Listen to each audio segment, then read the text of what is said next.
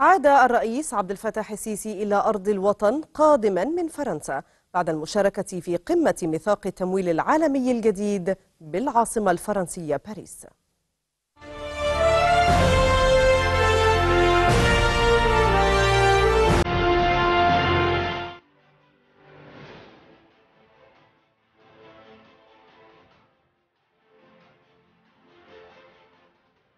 شارك السيد الرئيس عبد الفتاح السيسي في الجلسة الختامية لقمة التمويل العالمية بالعاصمة الفرنسية باريس.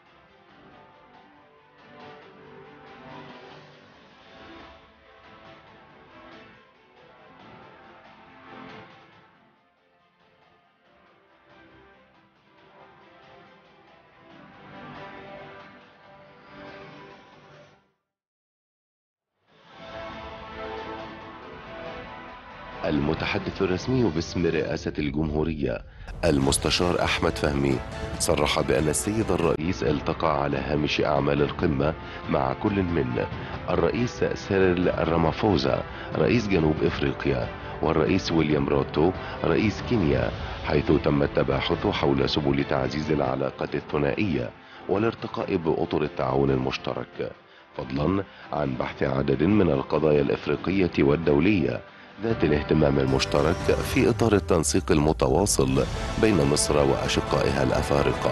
والتقى السيد الرئيس كذلك مع السيد برونو لومير وزير الاقتصاد والمالية الفرنسي حيث تم تناول أعمال قمة ميثاق التمويل العالمي الجديد والحاجة الملحة إلى القيام بإصلاحات ذات مغزى في منظومة التمويل العالمي.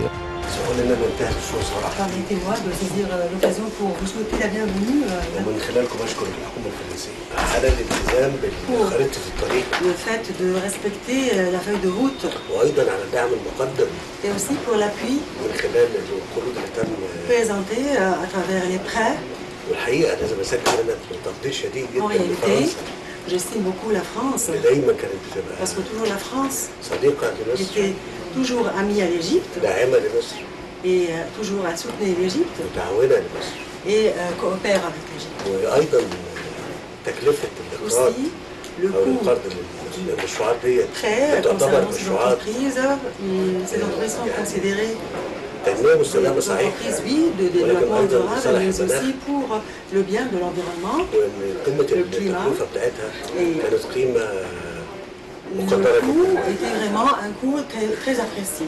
Je crois que cette feuille de route marche sur la longue voie et cela est grâce au gouvernement français, au président de la République, M. le président Macron et à M. le ministre.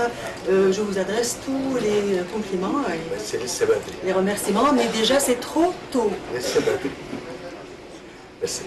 Merci. Merci Monsieur le Président شكرا d'abord. جزيلا سيدي الرئيس. Merci d'avoir fait le déplacement jusqu'à Paris très شكرا. لتوجهك آه، إلى باريس وحضور هذا المؤتمر.